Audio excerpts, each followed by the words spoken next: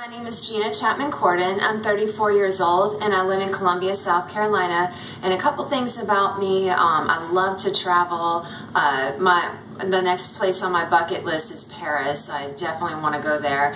Um, I love going out to restaurants with friends. I love going to movies. I'm a total comedy girl. I love uh, hanging out and spending time with my husband. I have a gorgeous Siberian Husky named Rocky and I recently became an aunt.